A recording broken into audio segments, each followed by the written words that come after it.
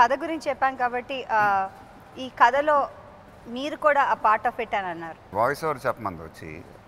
So చెప్తాను అది who's the dialogue అదొక రైటర్ ప్లెజెంట్ సర్ప్రైజ్ మా అందరికి.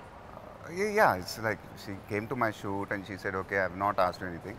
So you do this voice over. So i said okay and who's the dialogue నేనే నేనే రాస్తున్నాను డైలాగ్ అని.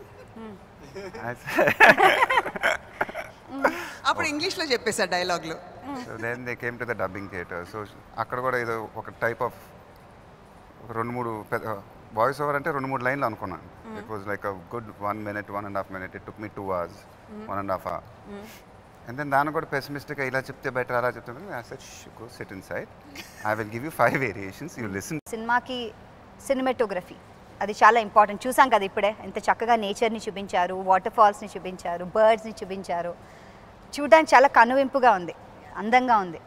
దానికి హిజ్ వాయిస్ డెఫినెట్గా యాడ్ ఓవర్ అయింది. సో ఈ సినిమాటోగ్రఫీ గురించి would you like to talk అండి?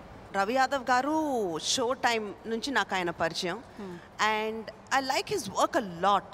ఆ గ్రీన్ కలర్ అనేది చాలా బాగా తీసుకొచ్చాడు. అండ్ నేను యాక్చువల్గా green colour. Okay scene all these are little surprising for me. When I hear. ఆ గ్రీన్ కలర్ బాగా తీసుకొచ్చారు ఆ టోన్ దట్స్ నాట్ హెరా అంటే ఆవిడ అలా మాట్లాడరా? ఇస్ మీన్ మీరు ఊరికే మాటలు పెట్టద్దు. హీస్ ట్రైన్ టు నా సే క్వశ్చన్ అండి I want to know because ఆయన అలా చెప్పగానే నాకు ఏదో డౌట్ వచ్చింది అనమాట వెంటనే. అదర్వైజ్ ఆవిడ అలా కాదా? సందీప్ ఇస్ గెటింగ్ నర్వస్ ఇలా ఇలా కలర్స్ గురించి మాట్లాడతారు వన్ ఇయర్ నుంచి నాతో సినిమా అవునా?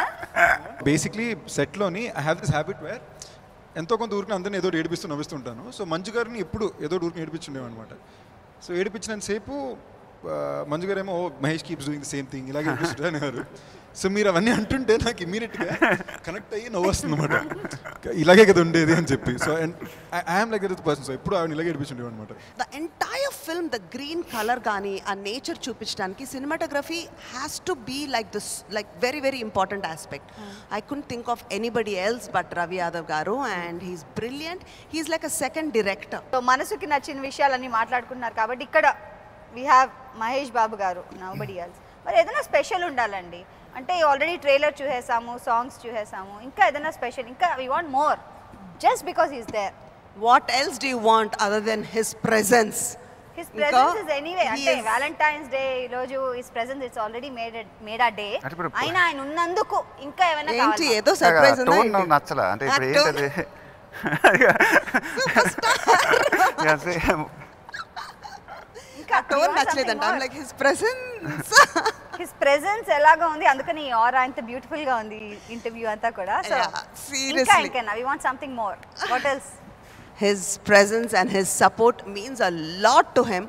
Seriously, uh, I can't tell you, first teaser తనకు పంపించినప్పుడు పంపించి ఆ బ్లూ టిక్ ఎప్పుడు వస్తుందా బ్లూ టిక్ ఎప్పుడు వస్తుందా అని I can't tell you what it means దాని తర్వాత ఒక ఆప్షన్ ఉందంటండి వాట్సాప్లో రీడ్ చేసినాక yes yes ఆ బ్లూ అదేదో అది నాకు అది కనిపెట్టాలి ఇప్పుడు డోంట్ వరీ నీకు నేను వాట్సాప్లో పంపిస్తూనే ఉంటాను నా కంటెంట్ నువ్వు చూస్తూనే ఉండాలి. And I'm telling you one day you will WhatsApp me saying hey Manju మన సినిమా ఎప్పుడు స్టార్ట్ అవుతుంది?